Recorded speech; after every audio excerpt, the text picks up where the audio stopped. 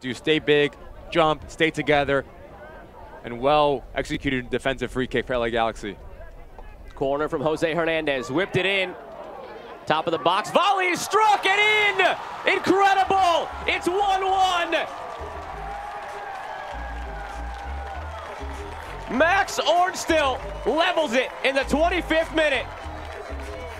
What a strike this is Ornstil. You cannot hit it any cleaner than he just hit that ball.